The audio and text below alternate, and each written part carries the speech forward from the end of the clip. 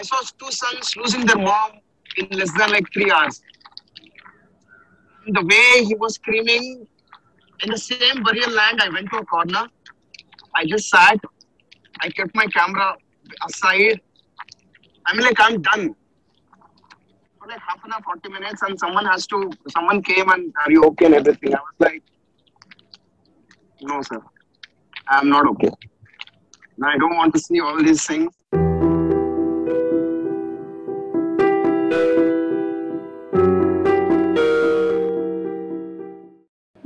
Kaushik JN. He is a senior photojournalist with the Indian publication Bangalore Mirror. You just heard him say that he doesn't want to see the tragedy that the second coming of the pandemic has unleashed on India. And yet, he is standing on a cliff overlooking a cremation ground 30 to 40 kilometers away from the city of Bengaluru because that's his assignment for the day. That's his job. He and his camera go wherever the news is, which in the past one year has taken him to bus stands and highways full of migrants trying to get home somehow, to hospitals where thousands have lost their parents, siblings, and spouses to the novel coronavirus and to crematoriums and burial grounds, which are terribly running out of space. These visuals, this reality, it's all heart wrenching to watch. So, how do photojournalists like Kaushik work through them day after day? And two days back, when I went to uh, another cremation land, uh, all the uh, cremating, all the more than 100 bodies been burnt in a very small place.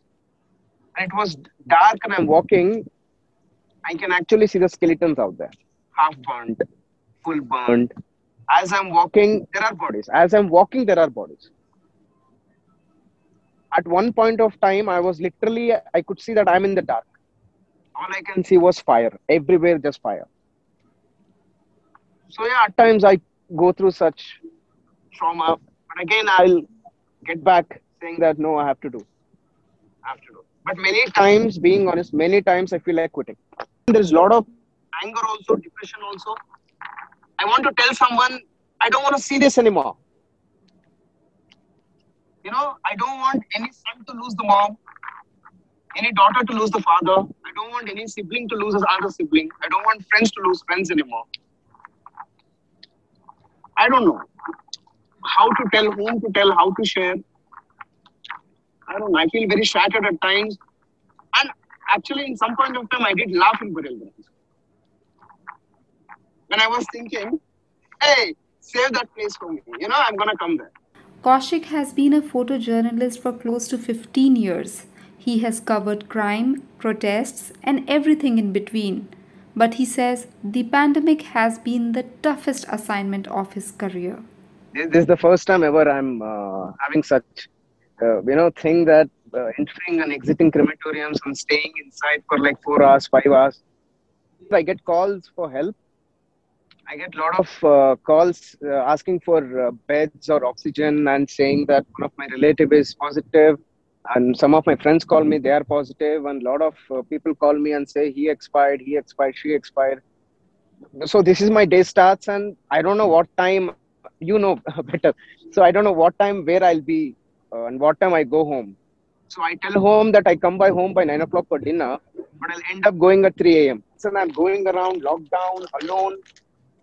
Everything's closed. When you're hungry, you don't get anything to eat. When you're thirsty, you don't get water to drink. You will carry, but of course, not like 10 liters or 15 liters. No? Just one liter, it's very difficult.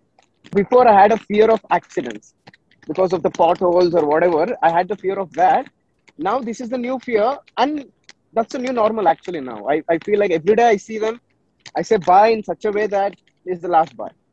At the time of this interview, at least 155 journalists in India had died of COVID 19. Does that not scare Kaushik?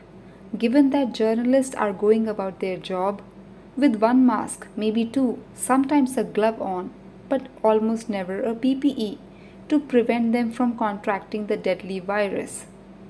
32 year old Kaushik hasn't even received a jab yet because it's only recently that the Indian government opened the vaccination for people in the age group of 18 to 45. But now, after seeing the count of 156, I feel maybe I'm the next. I'll be 157 or 158. Tired. Tired of being angry, tired of being sad, tired of all the emotions. You know, covering this every day. Kaushik doesn't only feel hopeless but also helpless.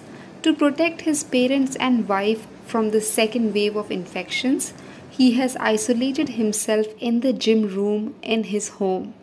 Still, if things go out of control, will he be able to help his family given all his connections? That's a big fear. Just to reach out to the ambulance, we had to make like 15 calls. I'm seeing this every day. You're not able to help anyone.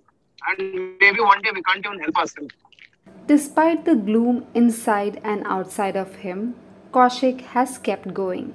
One, because he loves his job, and two, exercising keeps his mind strong. But he says he really wants a break from the pandemic. I want to keep my bike, mobile, watch, shoe, camera, everything on me except clothes. Keep everything on a road and just walk the road which takes you.